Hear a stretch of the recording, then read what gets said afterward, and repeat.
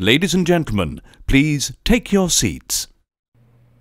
You know, the reality is cultural divides happen in all walks of life. And you know what? If you're within the sound of my voice, that must mean you are in the seats with once more. As always, my name is Dave Voigt, and I'm the host of this podcast, where we sit down with a wide ranging variety of entertainment industry professionals and we pick their brain about current projects, state of the industry, how they got started, and so very much more in a light and in a conversational fashion. And you know, if you like how we do things around here, I'm gonna I'm gonna jump out onto that limb and assume that you do because you're listening right now.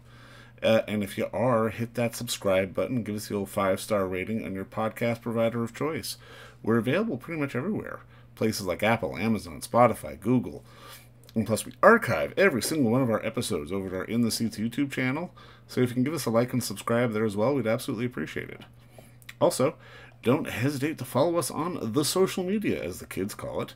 We're on the Facebook, we're on the Twitter, we're on the Instagram, we're on the Letterboxd, we're on the TikTok, and well, we're probably a few other places too for all sorts of fun updates. At where else would we be? At In the Seats. But uh, finally, and I do dare say most importantly, please pay us a visit over at In the Seats, intheseats.ca for all the latest and greatest from the world of film, television, basically the moving image at large. Because guess what?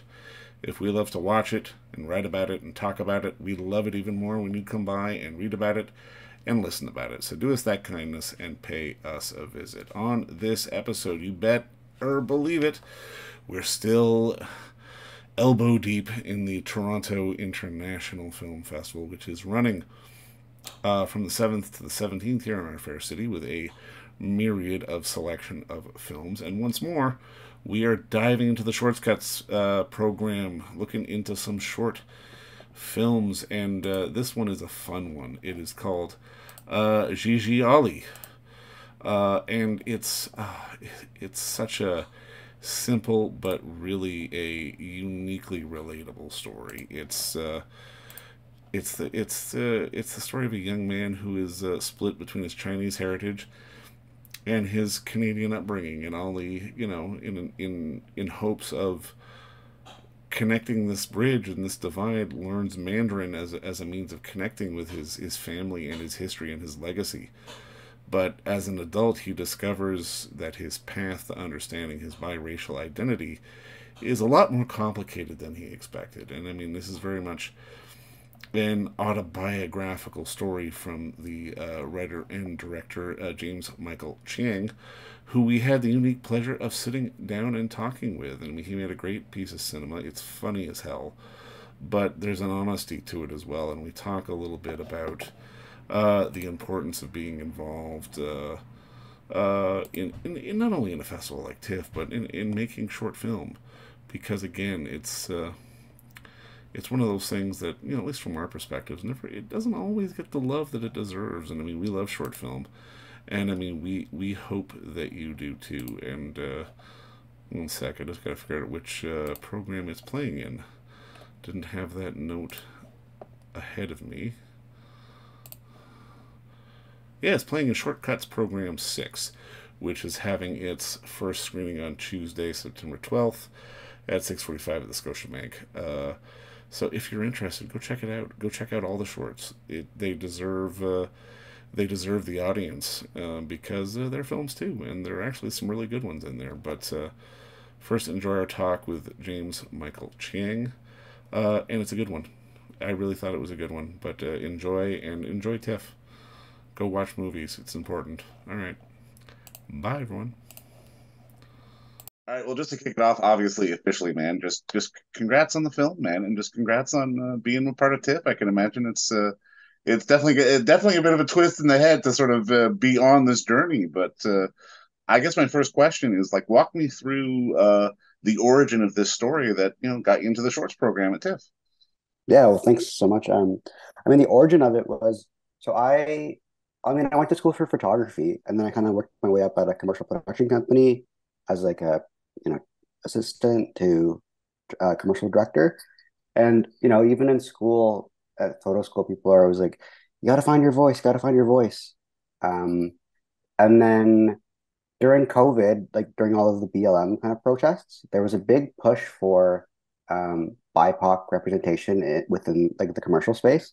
Sure. Um, so my commercial rep was asking me if I wanted to be put on these like BIPOC lists for like create directors and creators, and I kind of felt a little bit conflicted there because I felt like, well, I'm not fully Chinese. I'm only half. Like I don't think I belong on that list.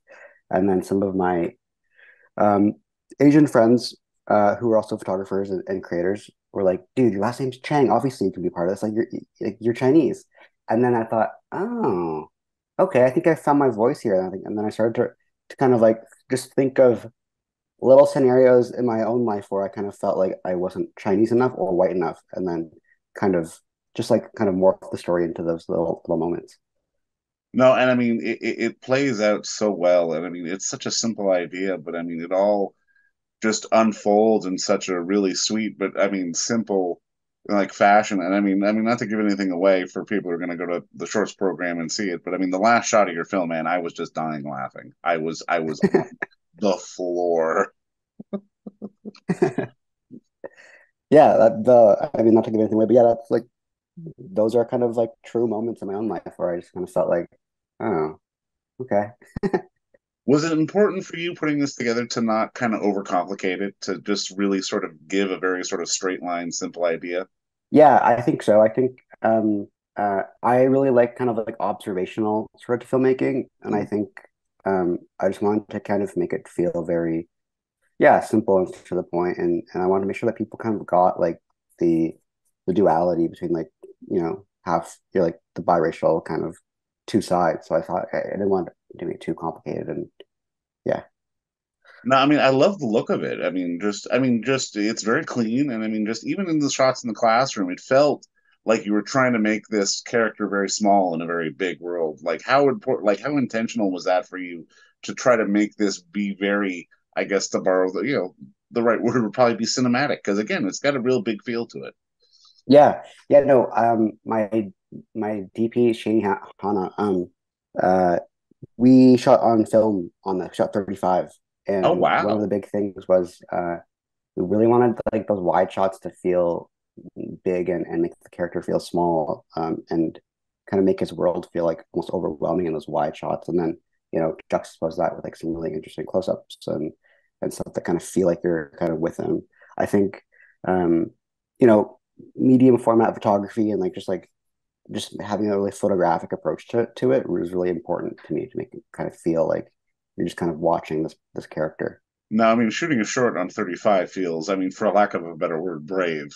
I mean, like how oh, did you manage to sort of get that even done? Because I mean, again, you know, these films are are not made with budgets, and I mean, to to get a 35 camera and to get, you know, even if it's end runs a film, costs money. Yeah, I, I, I was lucky enough to get funding from Canada Arts and Ontario Arts, um, uh, and I just really wanted to swing hard. I wanted to swing really hard on this one, and you know, half the budget went to to film, but it was like it was one of my first times shooting like on 35. I've shot little kind of projects here and there on 16, but it was extremely nerve wracking the whole the whole way through. Like we normally like a lot of my commercial work is like very doc doc style. I just let the camera run and roll forever and just kind of find those the the magic in the in the edit. Um, but this was like we got to rehearse and and um, like just hearing the the film just go, you just kind of felt like, oh man, the money. Uh, that's a different kind of pressure when you're shooting a three minute take and you've only got seven minutes worth of film in there. I can imagine. yeah. now, I mean, I'm curious because I mean, obviously, like you said, you know, like we talked about off air, you're like you're going through this process for the first time you're getting involved in the festival space like how important is it to just be able to sort of be included on a platform like tiff because i mean it's one thing because audiences may not necessarily engage with short films like we would want them to but it's such a great platform for guys like you to just get your stuff seen in general yeah i think it's really important i feel like um especially with like filmmaking or image making or even just any sort of arts in general, you always kind of feel like a bit of an imposter syndrome, like um, whenever you're doing stuff. So having kind of that stamp of approval of like official selection by TIFF is like really kind of important. I think um, uh, short films are kind of the next generation of, of, of filmmakers. So it's kind of really cool to, to, to be a part of that. And even in my own program, I'm really kind of excited to see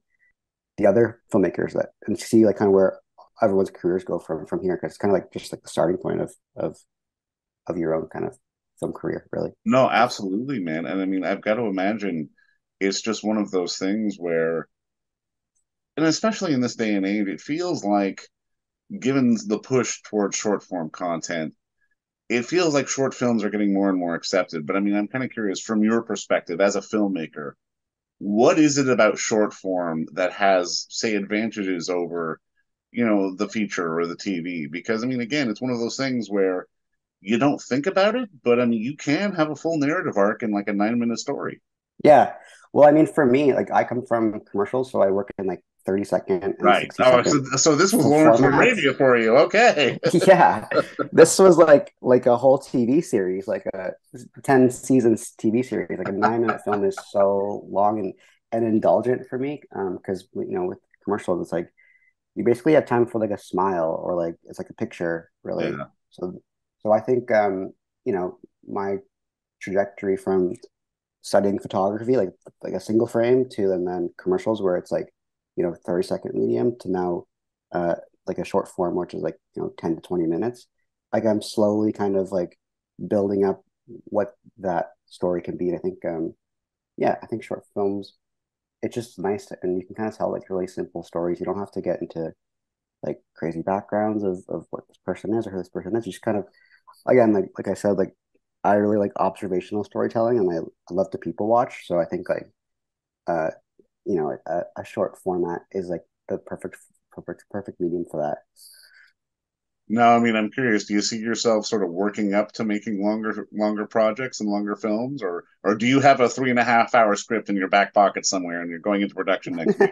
no, I mean, yeah, that's that was the goal. Like, the, um, I have some friends uh, who produce TV series and, and stuff like, like Chris Hatcher um, is a, a, friend of mine. And the reason why I made the short was because I was like, how do I get into like TV and like feature films? Like I want to do that stuff. Like like um, and he was like, you just gotta start doing shorts. So the goal is to to get into that longer form stuff. And I think I think cutting your teeth with with um, commercials and, and short films is a really good way to kind of just sharpen your craft. Um, it almost feels like you're at like the filmmaking gym when you're when you when you're doing these types of things. Is there a is there a film or a moment in your young life that sort of got you into this business that made you sort of interested to sort of pursue this path? You know, that's kind of funny. I I kind of see myself like I I call myself like a born again artist because I like in in school, high school, and, and I was more into sports and I didn't really like art. I thought okay. that art, well, art to me always felt like you had to be really good at drawing or really good at music. Like Right. There was no room for like really self expression. So um, I kind of came at, at, into this form a little bit later in life. Um, but yeah, I think, I think, uh, yeah, what was it? Sorry, what was that question? Well, again? just like, was there something that, like, was there something you saw that made you go, hey, maybe I can do that? Like a oh, movie yeah, or yeah. show, that kind of thing.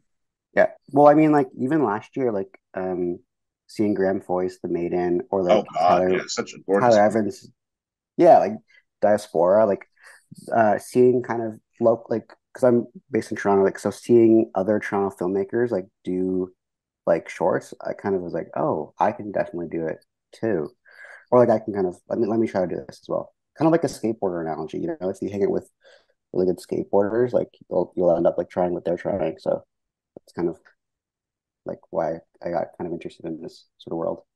Well, and I mean, it's so interesting too because I mean, audiences do kind of have a preconceived notion of what Canadian content is, quote unquote. But I mean, there is such a diverse array of filmmakers out there who are making such fantastic stuff, and much like yourself, that that it, it's really fantastic to see how the definition of Canadian cinema is kind of being redefined with all this great stuff going on yeah, I think there's a lot of really interesting stories within Canada that yeah. haven't been have, have yet to be untapped.